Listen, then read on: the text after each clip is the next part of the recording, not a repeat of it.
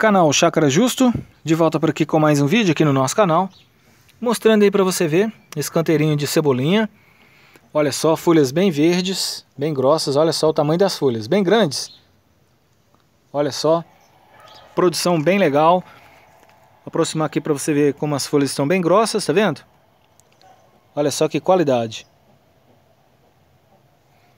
Tudo orgânico, sem produtos químicos. Aqui a gente utiliza adubo de vaca, né, que a gente pega no curral. Utiliza também um adubo de, de aves, né, no caso das galinhas. E a gente nada, não utiliza nada químico aqui. Por isso que dá esse resultado bacana aí, 100% natural. E a gente tem uma horta orgânica com mais saúde pra gente.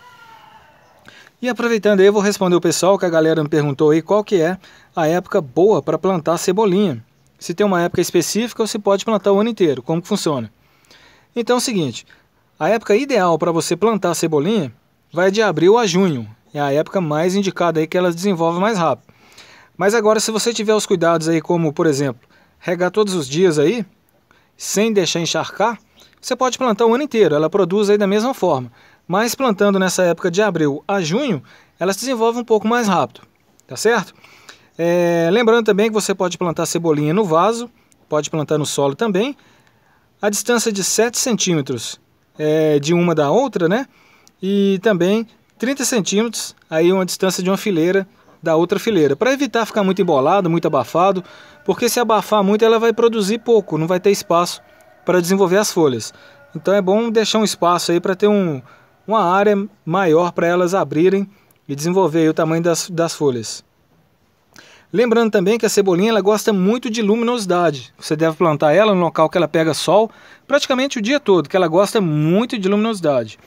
E todos os dias no finalzinho da tarde deve regar, né, porque esse sol vai secar a terra, deve regar todos os dias então para manter a terra bem úmida. Lembrando que não pode encharcar. Olha só, aqui está bem úmida, tá vendo? Está úmido, mas não está encharcado. Se encharcar, acaba matando a sua plantinha. Tá certo? São as dicas que eu passo para você aí. Lembrando que a cebolinha produz a sua própria muda, olha só a quantidade de mudas que tem aqui.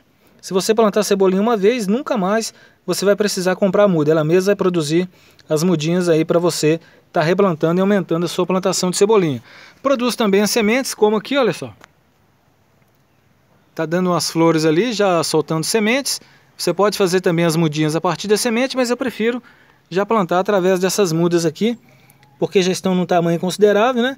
Maior a produção aí é muito mais rápida. A semente tem que germinar, ela cresce bem pequenininha, demora mais para crescer. E aqui já está grandinha, você consegue um resultado aí mais rápido.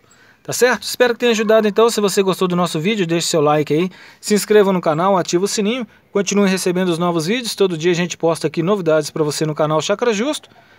E é isso aí. Muito obrigado, um abraço e até o próximo vídeo. Valeu!